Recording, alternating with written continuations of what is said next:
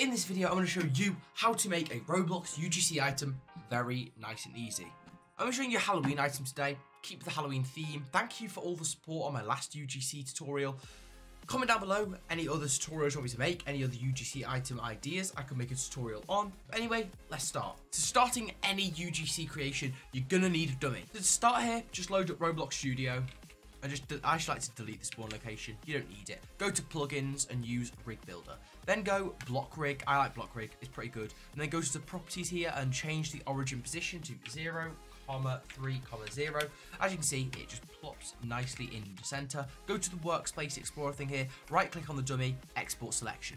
Here you need to save the dummy onto your computer somewhere where you know where it is. If you don't know where it is that's useless. Next we're going to go to blender i'm going to go file import wavefront obj now find where your computer has this saved. I have it here so we go dummy OBJ. Make sure it's the OBJ, not the M MTL one. And now we've got it in to Blender. So I'm going to click on it here, and we're going to start. I'm going to quickly just do RZ180 to flip it around so it's looking at me. Quickly before we start, Loads of people want to know how to make their blender look like me. By default, it looks a bit rubbish, something like this. So you want to let mine, just go up to here, this little right arrow, click it down, change it to flat, change it to texture, and then turn on shadow and cavity. You also want to ch change the type to both. By default, it's on world. Change it to both and copy these settings here.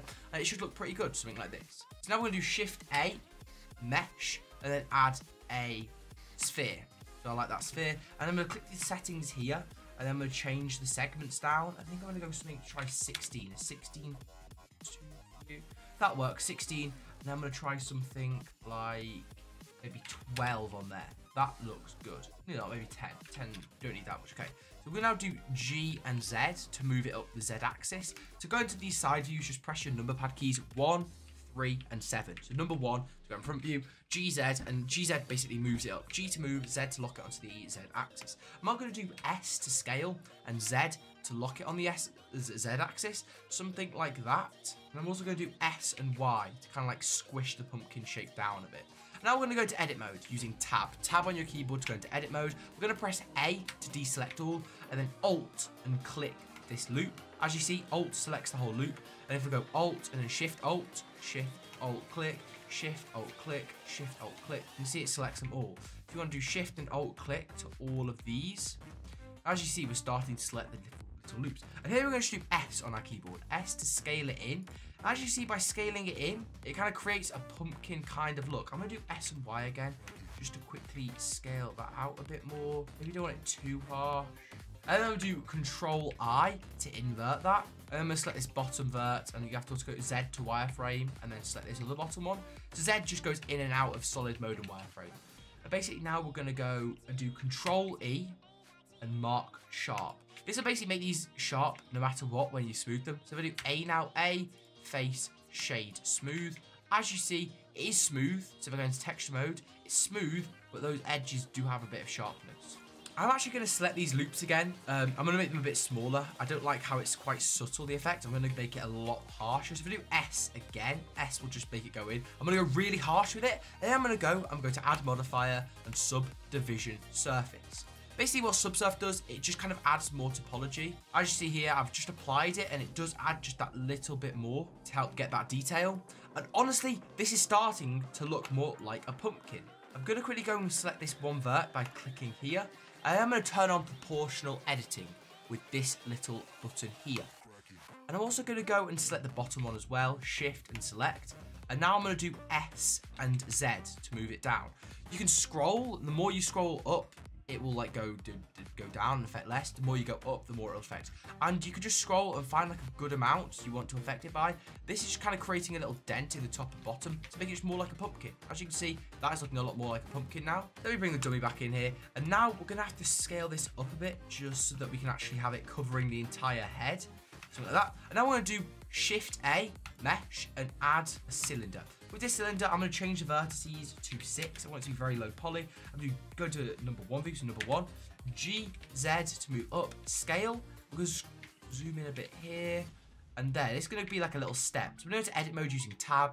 Z to go into wireframe, A to deselect all. I'm just going to quickly box select this like this. You don't know how to do this, you just have to click this box up here and you can box select. Now I'm going to do R to rotate. Oh, turn off portrait editing. R to rotate and then G to move. I'm also do a little S to scale. I just need a bit more. So E to extrude, S to scale, R to rotate, G to move. And something like that works nicely for a cheeky little stem. As you see, we're starting to get a nice pumpkin coming together now, which is pretty cool. And here, this could be it. This could be your pumpkin hat done.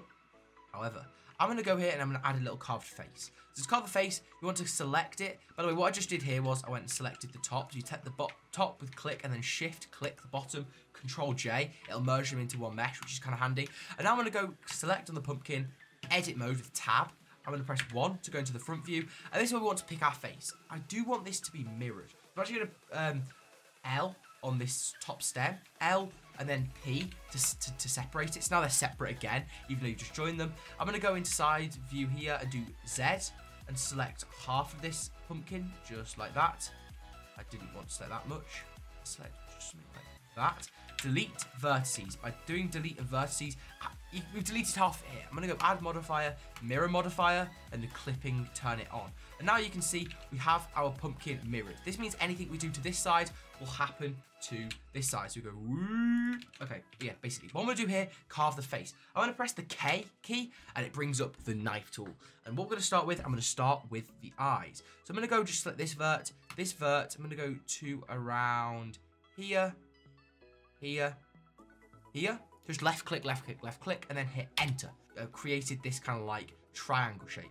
Now we're to go up here and change it from vertice mode to face mode. And face mode now we can do click, shift click, shift click, shift click, shift click, shift click to select the, all the holes in all the faces inside where we want to delete. Press delete faces. As you can see, we've just created two very simple eyes. Going to also go back to vertice mode by clicking the little dot one here. So yeah, now, now we're going to do a mouth. Go K again to go into the knife tool. I'm going to click and just kind of like create this jaggedy mouth, something like this. I'm going to create a little tooth coming out, um, like that. But you can do this however you like, and something like that works. I'm going to do enter here. We've only got one line. I'm going to go back into the mode of K, and then click here, and do another line, something like this.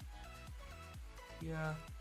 Do another little tooth here. Because when it mirrored, it's going to look cool. It's like a vampire. So we're going to go back into the face mode and select all the faces on the inside that we want to delete. This shouldn't be too hard. Just got to go quick, quick, quick, quick. Delete faces. Okay, there. As you can see, this is starting to look really cool. But if you ever go into Roblox, you'll actually notice that if I turn the backface culling here, you go into Roblox and you see someone wearing this item if you look from the inside, you actually see it's like invisible. Um, this is basically because if you've got a side showing, only one side you can see, the other side's invisible. So if you look in here, you can see, but it's like invisible. It's kind of weird. But basically, um, to fix that, you want to click on the pumpkin. Make sure you do not have the stem as one. Make sure the stem is separate for this bit again. Go add modifier and add a solidify modifier. This just makes it solid. As you can see, that basically makes it so it's thick and you can change the thickness here uh, in the thickness parameter and then change that as thick or as thin as you like. You can have a thick pumpkin if you want. This doesn't affect anything. It does double the amount of topology you have, but the bigger it is, doesn't make a difference. You're like, whoa.